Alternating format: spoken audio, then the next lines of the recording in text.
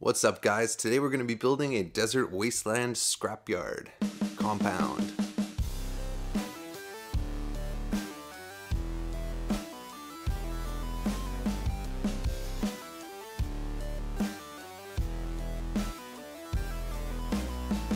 Today's build got away from me a little bit in terms of the scope. So today we're going to be building a set of chain link fences, a watchtower, some metal scrap piles, an adobe building, a crane, a desert crawler, and the two can be combined together. And uh, overall, it's gonna make a pretty awesome desert scrapyard, apocalyptic fort type thing. Let's jump right into it. Let's start by making some lengths of chain link fence. The first step is to make the bases. So I use a piece of medium chipboard and sketch out some oval shapes making sure they have these connection points around them. This is one of my favorite crafting materials, and I'll put a link in the description so you can get your own if you're interested. So I cut those out with a pair of scissors, and then next I cut some pieces of bamboo cocktail stick. These are going to be my fence posts. Next I use a little bit of sculptor's mesh. This is the stuff that sculptors use to give sort of a shape underneath when they put plaster on, I think. I've never used it for the proper use, but it's really useful for crafting. So I basically just hot glue that in between some of these posts, and that's my basic fence. Very simple. But let's spruce it up a little bit, give it a little bit more of a fortified, scrapyardy look with some few pieces of chipboard, various shapes and sizes, a couple pieces of corrugated paper, and a 3D printed barrel or two. This will not only add stability, it also adds some visual interest and really sells the idea that you're in kind of a junkyard. This is a great time to raid your bits box for things like little gears and other pieces of random toy, and slap those on there for some extra detail. Then I use some white glue, add some sand on there, and that's pretty much it. That's the basic fence, guys. Simple, easy, super versatile. You can see on this one I'm stacking up three barrels, and I'm also cutting a little hole in the fence to make it look a little bit more ramshackle, a little bit more interesting. Things like this give it a little bit more character. Next, let's build a tower. I start by drawing this elongated trapezoid on the piece of paper and then cutting a piece of parchment paper and gluing it down over top. Nothing sticks to parchment paper. From what I understand, it's treated with some sort of silicone process and it makes nothing stick to it. So I glue some cocktail sticks down onto it, knowing that I can pull them up easily later, and then glue some skinny pieces of chipboard top and bottom and then all over it in various diagonal patterns to make a sort of tower. If you wanted to make a more appropriate civilized looking tower you could measure this and do it more organizedly. I kind of started with some straight lines and then added a bunch of haphazard crooked ones to make it have that sort of rundown industrial feel like it's sort of an improvised scrap structure in a post-apocalyptic world. Anyways, you can see I've made two of these, and then I just simply glue them together with uh, similar length pieces in between. And that makes a nice square base tower shape that comes together nice and quickly. You can add as many supports as you want. I chose to keep mine looking fairly skeletal but you can really do whatever you want. You could add scrap metal on it, whatever. You can see here, I'm using another piece of chipboard to cut a top panel, which will be the platform that the lookout or the snipers or whatever can stand on. And uh, I just sort of mapped out where, which way did this go again? Uh, uh, anyways, doesn't matter. Glue that on with some hot glue and it's all good. Hot glue hides so many mistakes, guys. That's why I use it so much. In addition to bonding instantly, you can really, you really just can't screw up when you're using hot glue. I add some panels of chipboard to the top to give it that improvised look to it. And then I use a little bit of this diamond plating paneling from Plastruct. This stuff is pretty cool. It's a little bit more expensive than chipboard, so I use it sparingly, but it definitely adds a nice touch. So I read an article recently that said that you're supposed to put your call to action before the halfway point to your video. So this is just me reminding you that I have a Patreon if you want to support the channel, if you've been enjoying this sort of content. And um, and to subscribe, I suppose I should say as well. Uh, let's get back to it. I wanted this to look like a salvage yard, so I'm to need some piles of junk. Tinfoil is a great base for that. Shout out to RFD Hobby for this tip in his rubble video. And then I add some chipboard I-beams that are just made from three slices of chipboard and a bunch of random pieces from my bits box. Little panels, little pieces of corrugated paper, this little gear from a Barbie house that I used in a previous video. The trick to these is to make sure they look like they're actually leaning against each other rather than glued together. You really want to give the piece a sense of gravity. It's got to look like actual heavy things that are leaning in exactly the direction you'd want them to. This may sound obvious, but it's really easy doing something like this to just have it look like a ball of things glued together, and that's really not what you're going for. If you want it to look natural and you want it to look at scale, you need to sort of think a little bit about how things would lie against each other. And look at some reference pictures of scrapyards and stuff like that. A lot of time they just lean things against piles and then lean them and lean them and lean them until the pile gets bigger. So I add a little bit of sand around the outside as well, just to tie it in with the same environment as my fences and everything else. Let's build a little gateway for our compound here. There's a million different styles you could do for this, but I chose to do the type that is sort of a panel of fencing that slides out of the way when you approach it. And to do that, I made this little panel as you can see here by making the same method as before, and then standing up two posts on either side of a longer piece of chipboard, making sure my door fits in between there, and reinforcing those with a few pieces of little chipboard.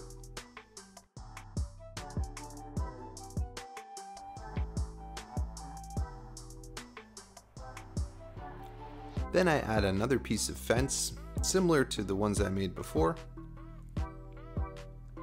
and added an extra upright to sort of bound in the gate where it slides through. And again, I use a little barrel to help stabilize this, otherwise this individual post, because it's not dug into the ground, would be very unsteady. And there you can see, it's my sliding gate. Very simple, looks good, I'm happy with it. And it's just the right width to accommodate this fella driving his truck through. How charming. I reinforce it in the same way. I have this little sign from a toy car kit. I think that would be perfect on the front there. Yeah. To suggest that some traffic has been going through the gate, while the glue is still wet, I etch some horizontal lines in with a piece of cocktail stick. Next I use Mod Podge to seal the paper parts of everything we've done so far. Today's build is actually part of a collaboration. Mike from Scratch Bashing reached out to me and said, Hey Eric, do you want to collaborate on something for Orktober? Which is, of course, in the month of October, orcs get the only attention they ever get the whole year round. And um, and he gave me lots of notice and everything. And uh, here we are in late, late November, and I'm just finishing up. So sorry about that maybe some subconscious part of me just wanted to see the orcs get a little bit of attention outside the month of October. You know, I think they're pretty, pretty badly neglected, but uh, but that's neither here nor there. So the other people collaborating on this challenge were uh, Franky D. Crafter, uh, Mike from Scratch Bashing, as I mentioned, uh, Wyloch from Wyloch's Armory, and they all did really cool builds, super interesting stuff that you guys should go check out, and I will link them down below. So go check those guys out. Uh, now is the time to work on the main structure of the building. Let's talk for a quick second about Orky architecture. Orky architecture kind of falls into two broad buckets, the way I look at it. There's the scrap pile type stuff, and then there's the older, more retro stuff that is these square-edged, adobe-looking buildings, and that's what I'm building here. Uh, it's kind of at odds with the present day orc aesthetics, so in my mind, these structures are more like something that was built by a different civilization or some human inhabitants, and then the orcs have come along and looted them later. And uh, this is the style that was sort of very popular in the White Dwarf magazines and the codices when I was a kid, so it's fun to make something like this after all these years. To make a staircase, I start by cutting some runners out of chipboard. I go into this technique a little bit more in depth in my cardboard terrain video, which I'll link here. But another thing to consider here is that I'm making sort of a true scale stair. Like a stair would actually be navigable for some miniature of the size that I'm going to use on these pieces. And that's important to me. Some people like to make these giant stairs that look more like a salmon ladder or like amphitheater seating. And that's just not something I enjoy, to be honest. I think if you're gonna make a piece of scenery, you might as well go as realistic as you can while still having it be playable. Um, having a miniature stop halfway up the stairs is not something that you absolutely need, and it's a pretty niche case in gameplay anyways, so just make a nice looking staircase. That's how I see it anyways. Apart from chipboard, I think my favorite crafting material is foam core. That's what this black stuff is here if you're not familiar with it. It's the same stuff that, at least when I was a kid, I used for sort of presentations where they have those things that fold out like doors opening. I don't know if I'm making sense. But anyways, it's a great material and I'll link it in the description. Here I'm taking a little bit of watered down spackle and adding it to hide the corners of my foam core and also add some texture. This is something Mike from Scratch Bashing does a lot. Again, if you haven't seen his channel, go check it out guys. He's really talented and does some great stuff. Next up, we're building a crane. As you can see, I'm using a very similar technique that I used to build the tower. Uh, there are a few key differences here. I'm adding a piece at the top with a hole punched in it, and that will have a little fulcrum, fulcrum, words are escaping me here. It's gonna have a little stick, a little stick going through it. And then I use this wooden spool that I got at the dollar store to glue the bottom together. And what that's gonna do is it's gonna look like the fulcrum piece. That's actually a fulcrum, I think. I don't know guys, as you can tell, I'm not an engineer. Um, but I am able to make a serviceable crane just by eyeballing it if you want to see a really cool crane that's built just from chipboard, check out RP Archives channel because he did a video on that recently and it's pretty awesome. Anyways, you can see here I'm using a piece of jeweler's chain and uh, another spool. This chain is used for, I guess, hobby necklaces and stuff like that. I got mine at Michael's, but I'll put a link in the description for something similar. And I'm just going to attach that in between two pieces of foam core I'm using cardboard here to clad the outsides of the foam core just to neaten it up a little bit. And then I drill some holes with the tip of my X-Acto knife and using this metal rail from Model Railroad, but any sort of wire like a coat hanger or so would do, I make this little crank shape. And this is going to make my crane actually functional once I glue it all together.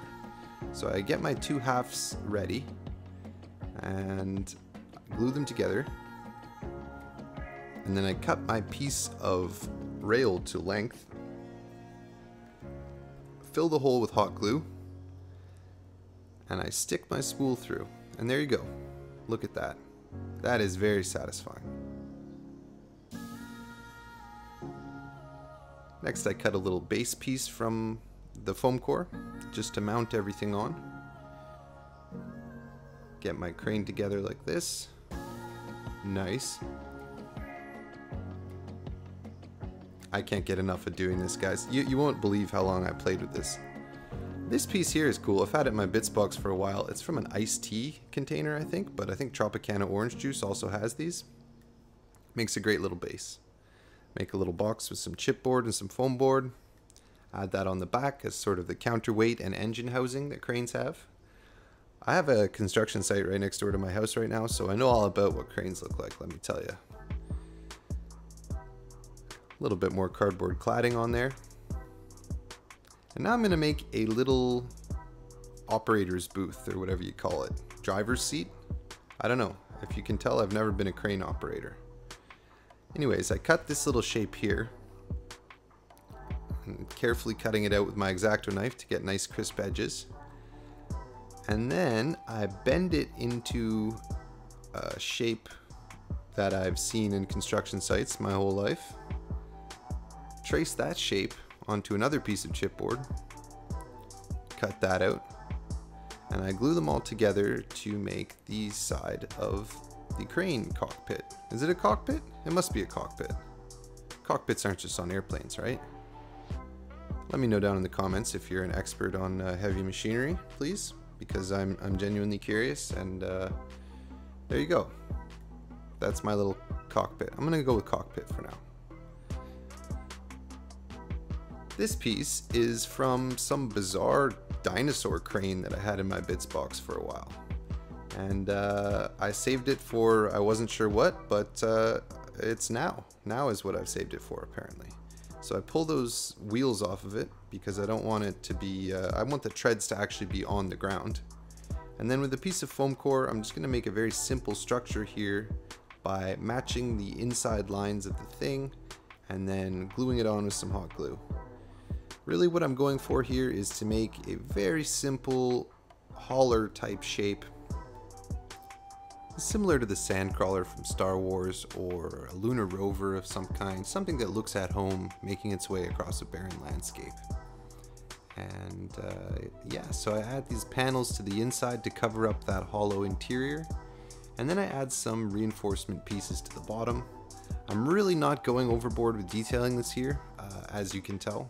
But I'm doing something simple and fun that does the job and adds another cool piece to my table without too much effort. I add a nice uh, slanted piece at the back with this T-shaped piece here. And this is basically taking things more from the realm of a, you know, fire engine red toy that used to have a dinosaur's head on it to something that looks in place with the more grounded realistic things that I'm going for. It's hard to tell here, but what I'm doing here, other than, you know, zooming in on the front of that crane, is I magnetize the side of this. So it can stick on the side of the crane, and it can also stick on the hauler, depending on what setup you want to go for. Next, let's make some orc glyphs. You see these everywhere. This is kind of the orcish hieroglyphics, I suppose, and also their, uh, their favorite way of decorating things. Um, so uh, draw a couple rough skulls and things like that, cut them out, and then I'm going to take a piece of one centimeter foam core and I'm going to glue a bunch of scraps of chipboard to it, very similar to how I detailed the pieces of the fencing before. And what this is going to be is this is going to be a clip-on Orky fortification type piece that's going to go on the top wall of my little compound. As you can see, I'm doing some nice tooth-shaped pieces here to give that nice jagged profile to the building. Awesome. Here's another one that's kind of like a orky face. Orcs have very prominent lower jaws, so I wanted to get something that sort of captured that look a little bit.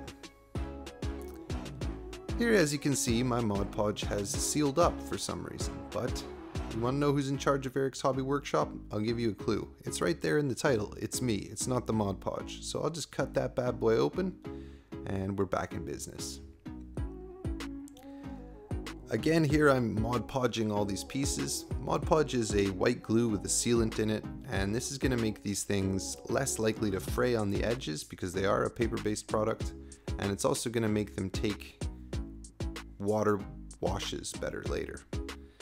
These ones, as you can see, are um, a modification that clips onto the top, and the difference is I just used a little bit of corrugated paper in these. Next I'm using a piece of hardware cloth. This stuff I've used in previous videos, and it makes a great ladder. You just bend the tines back, and then I just literally push it right in with my thumbs, and the sharp edges of the wire make an awesome ladder.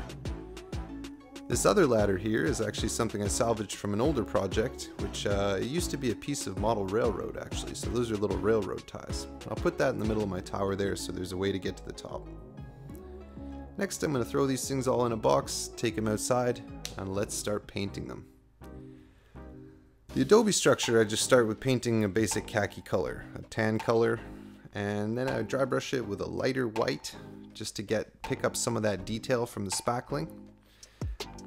The metal bits get a heavy dry brush of silver over top of a brown undercoat, and this uh, creates a nice rusty metal looking effect once that's dry. And same with the crawler piece, also gets the same thing. This texture on the side of this is really great. You know, everything gets this. I should have just said that up front. The junkyard pieces, the fences, they all get this brown and silver dry brush. It's a really great base for making this rough metal. And since I made so much stuff, a simple paint job is really great. Next I used some raw sienna paint to dry brush the ground as you can see, I got some silver on the ground, and but this is going to go over it and not matter because if I get some of this on the silver bits, it's just going to look like dust and it's going to look great. And any silver on the ground might just look like, you know, metal shavings or bolts or something like that. Next up is a black wash. This is a wash I made with black paint and water and a drop of dish soap. And it's nice and cheap and it does the job nicely. What this does is it ties the colors together, adds a little bit of extra contrast, and also gives it a nice matte finish. I come in with a few bright colors on my pieces to add a little bit of orky flair. You know, if you've ever read Orc and Garden magazine, you will know that uh, red is a very fetching color for your fortifications at this time of year. White is also a nice orky color, and of course the universal color of skulls, except for orc skulls, which are of course green. As I mentioned before, Orc's language is glyphs. So this here is the symbol for Beaky, which is how they say Space Marine. And uh, as you can see, it's a red Space Marine, a Blood Angel. It represents the Blood Angels in my collection. So this, in my mind, is either a warning that there's Blood Angels in the area to other Orcs, or maybe it's like, uh, we killed some Blood Angels type thing. Now this is a really cool trick. As you can see, I'm using a fine tip micron pen to do some dagging and some checkers on these white panels. This saves so much time and is so much easier to be accurate than using a paintbrush. So this is a really awesome trick if you want to do some quick and easy checkers. I decided this garage-like opening could use a set of doors, which is of course logical, but I didn't want to make them actually able to open because it was too finicky at this stage in the project, so I just glued two panels together that look like doors, and then in much the same way as before, I added some panels of metallic looking materials and added some two little handles at the bottom just to give it that sort of door vibe a little bit more strongly. And then I made a small door for the other side structure, gluing a piece of mesh and uh, cross braces onto it to give sort of a peephole. It's kind of low to the ground, but it's actually just the right height for a hunched orky figure to peer through and see who goes there. Again, sealing these up with Mod Podge. Next I add a little bit of texture here to the top of the structure, just as a reminder not to underestimate your opponent if they have the high ground. I cut a little hole for my door. Then to recess it in there, after adding some spackle to smooth the edges. What I'm going to do is I'm going to cut two cross braces out of chipboard and glue them onto the back of the door and then use those to sort of suspend it in the door gap to add that nice little door frame nice and easily. Beautiful.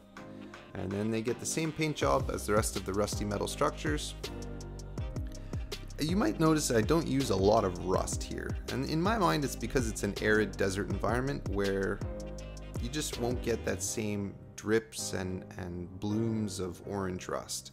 It's more this sort of burnished color that I think looks right. Time to touch up the structure a little bit after painting in the roof. And then I'm going to take a little bit of dust color and I'm going to go around the bottom of the structure and what that's going to do is not only add a nice sort of gradient that makes the sides of the building more interesting, but it's also going to tie it in with the environment once it's on my desert tabletop. Next I use just a little bit of dark wash to add a few dirty streaks here and there around the top. And that's the last detail I'm going to do. No need to go overboard. This is a quick, fun, easy project and we're done.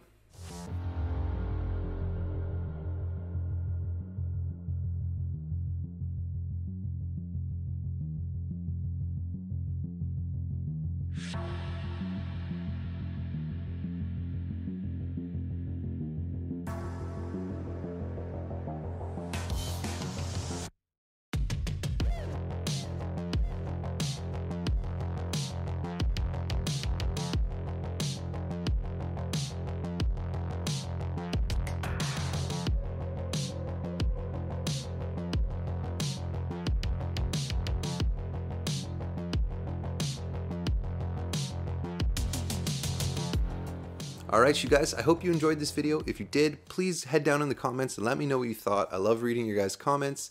Uh, special thank you, as usual, to all my patrons. If you want to become a patron and join the Discord server that we have over there and see some behind the scenes photos, go down in the links below, check out my Patreon, and we'll see you next time on Eric's Hobby Workshop.